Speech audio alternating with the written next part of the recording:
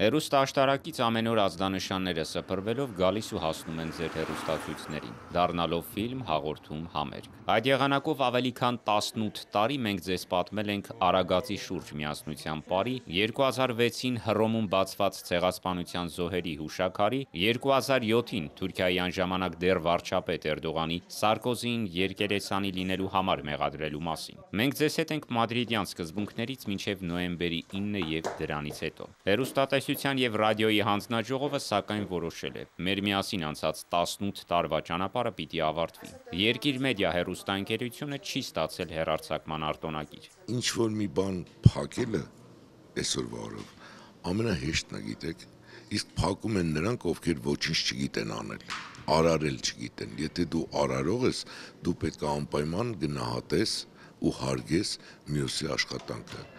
Ինչ է դուրները չի գալի, ես չգիտեմ: Ժողովրդական արտիստի խոսքով, եթե իշխանություններին որևէ բան դուր չէր գալիս, ապա կարող էին այդ քայլին գնալուց առաջ խոսել այդ մասին, քննարկել: Պոլիտիկ.am կայքի խմբագիր Բորիս Մուրազիի խոսքով, իշխանությունը պլանավորել էր փուլ առ փուլ ազատվել մեծ լսարան ունեցող լրատվամիջոցներից: Այդ պատճառով էլ դեռ մինչև պատերազմը Երկիր մեդիան ստացավ հեռարձակման արտոնագիր: Իսկ հիմա՝ ընդամենը երկու տարի անց, ոչ: Նրանք մինչև պատերազմը, ես արդեն դա համարում եմ որպես դիտավորություն, բոլոր ճշմարտությունը ասող բոլոր լրատվամիջոցներին հանրության մեծամասնության համար դարձրեցին նախկինների հետ կապված, սուտ ասող, սուտ տարածող, որպեսզի երբ որ գա այդ վտանգավոր ժամանակը իրենց իշխանության համար, արդեն հանրության շատ քիչ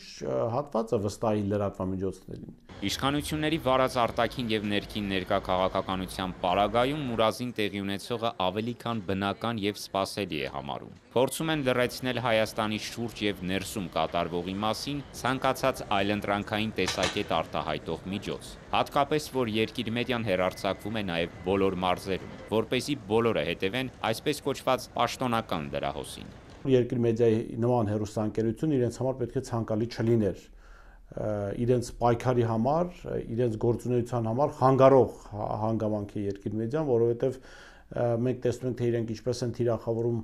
ավանդական արժեքները, ազգային արժեքները և դա ներկայացնում որպես հետամնացություն: Իշխանությունը որևէ կերպ չի ցանկանում, որ հանրությունն իրականությունը հասկանա: Դեռ 2018-ից սկսած լրատվամիջոցները շատ դեպքերում, ասելով ճշմարտությունը, մեծ հարվածներ են ստացել, ասում է Մուրազին: Հիշեցնում՝ այդպես էր նաև իր ներկայացրած լրատվամիջոցի դեպքում, երբ հրապարակեցին Փաշինյանի ու կնոջ ԱՄՆ մեկնելիս բիզնես դասի ինքնաթիռ պատվիրելու համար ծախսած 370 հազար դոլարի փաստը: Հեռուստաընկերություններ, կայքեր, թերթեր,